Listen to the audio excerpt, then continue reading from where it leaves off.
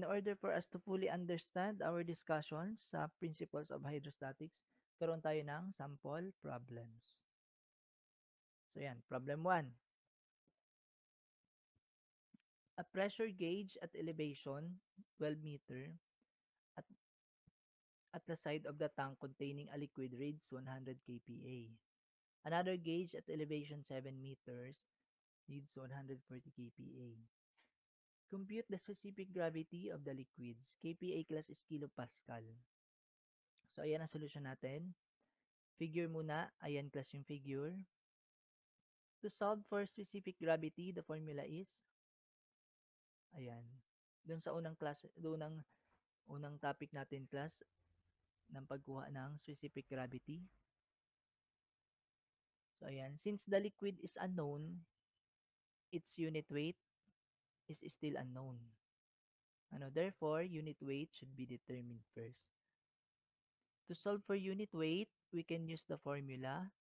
Ayan, the pressure 2 minus pressure 1 is equal to unit weight times h, where h is the distance between P1 and P2. So, ayan class. So, makukuha natin yung value ng unit weight. Ano nung liquid. Gamit yung equation natin dun sa topic na principles of hydrostatics. So, ayan. Unit analysis. Check muna natin. KPA is equal to the unit weight and then may meter.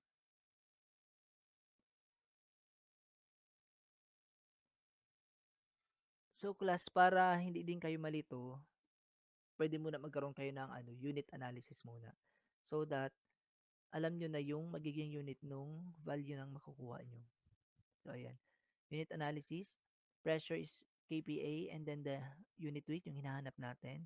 And then the height naman is in meter. So, ayan. So, magkakaroon tayo ng value ng unit weight na kilonewton per meter cube. So, substitute lang natin. Ang pressure 2 natin is yung 140 kPa and then pressure 1 naman is the 100 kPa substitute lang natin.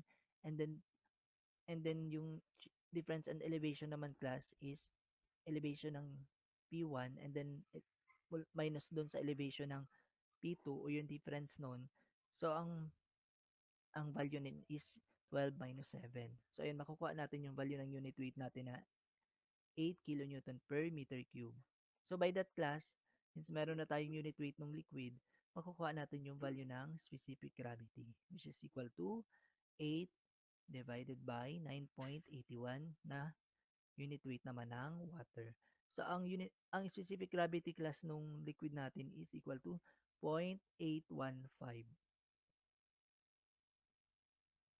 Next problem.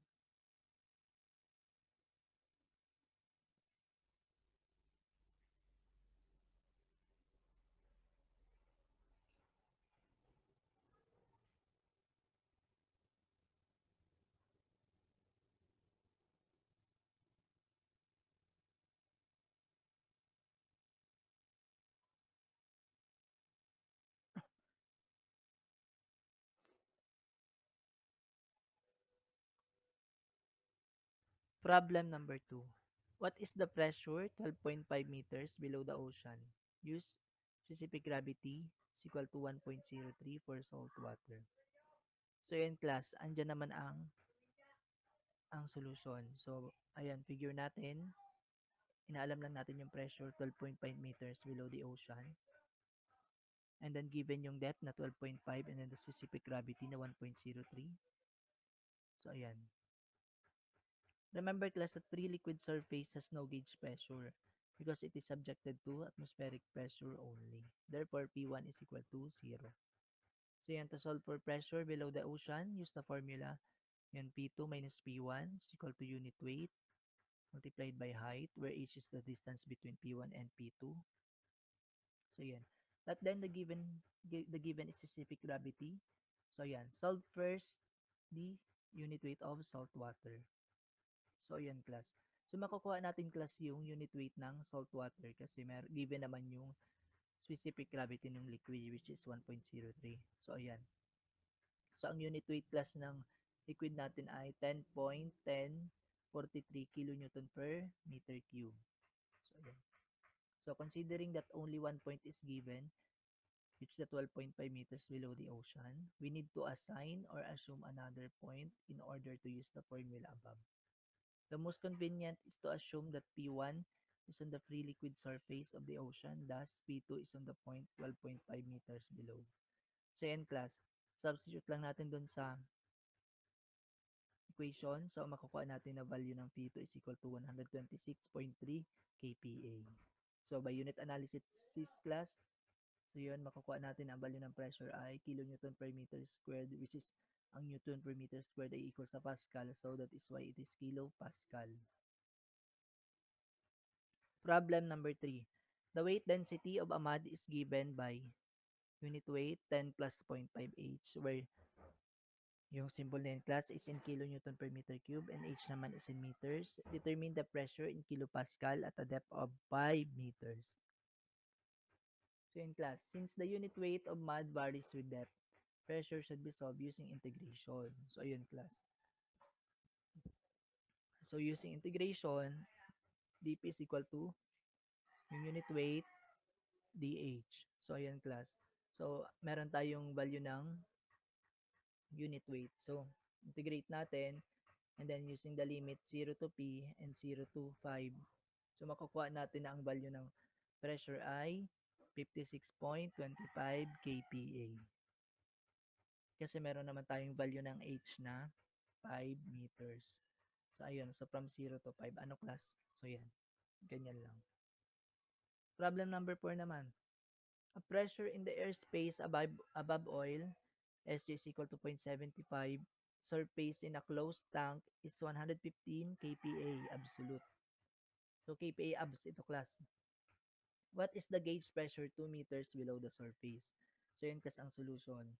So, figure, liquid surface, absolute niya is 115 kPa. And then, the difference naman is yung, yung height naman is 2 meters.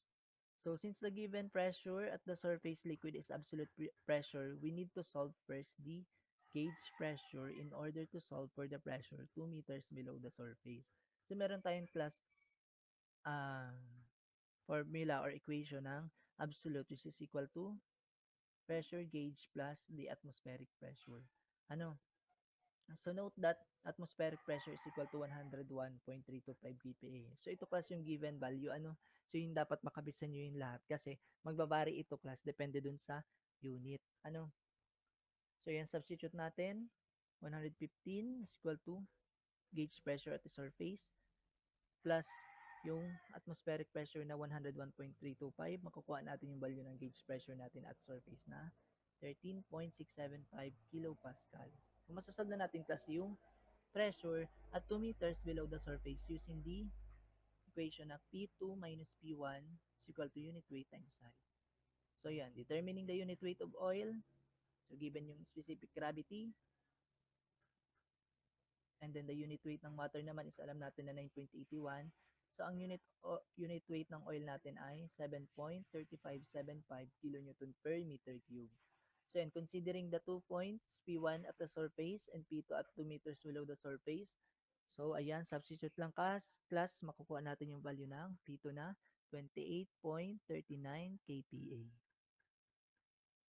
Problem number 5. Find the absolute pressure in kPa at a depth of 10 meters below the free surface of oil of specific gravity 0.75 if the barometric reading is 752 mm HD. HD class is mercury. Solution. To solve for absolute pressure, use the formula absolute is equal to gauge plus atmospheric pressure yan. Determine first the atmospheric pressure. So, it is given in the problem that the barometric reading is 752 mmHg. So, yan. 752 mm siya, mercury. Remember that barom barometer measures atmospheric pressure. Ano? So, therefore, atmospheric pressure is equal to the unit weight of mercury and then the height ng mercury. Ano? So, according to the barometer reading, ang makukuha nating value ng atmospheric pressure ay 100.325 kPa.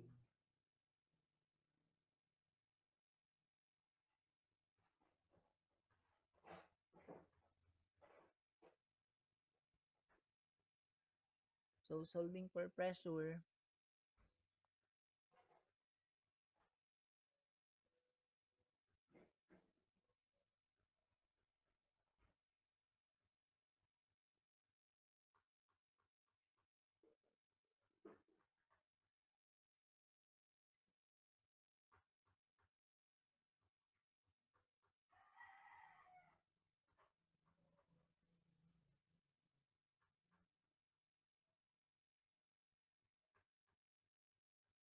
so yung class, paano nakuha yung 133.416 is andito class sa baba.